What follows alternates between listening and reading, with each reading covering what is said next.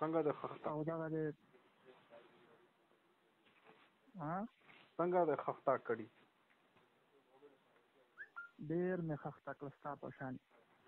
دا شکل دا وګوره چرته یې ته څنګه دا خلک خخته کوي ته دمره زوره ور سړی ته والی د وطن خلاف داسې دغه شرط دی د وطن ولې چې پاکستان پوز او ایس د وطن خلاف یې نه کوم د وطن د دلګانو خلاف یې کوم چې څوک د وطن ته بربادي راوړي او څوک دا وطن خرابوي یا که فوج خلاف دی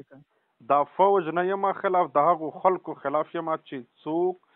ما پښتانه مړاوي زه په خپل ایسای سره یم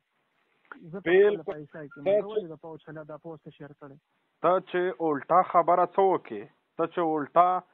بګونا ولې دې شیر کړو ته چې ولې شیر کړو ته چې الټا ولستا نقصان ور ورسوي ستا به خله په لامز یې کما ستا دماغ خراب شوی دی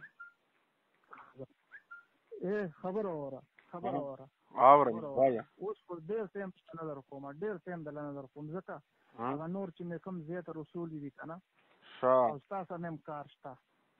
تاسو نیم کار شته ډیر ټیم د نظر کوم ځکه چې مونږ کم کار کوو مونږ خاموشۍ سره کار کوو زه تا ته دا وایم زه تا ته دا وایم چې تاسو خپل پالیسی بدله کړئ تا چې خپل پالیسی نو بدله کړي ستا پلار منشي سره ولې ستا نیکه منشي سره ولې ستا کم ته مخ شه درځم هلته احتجاج هم کوم او دستا خلاف به ناره هم پورته کوم چې څو پر تاسو د منافقت نه بند کړای منافقه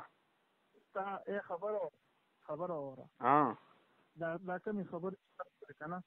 د دې باندې صرف دې ذکر زو کوم چې کله دې زرا ولم کنه دا به تاسو ویم صحیح ده بالکل تر راځه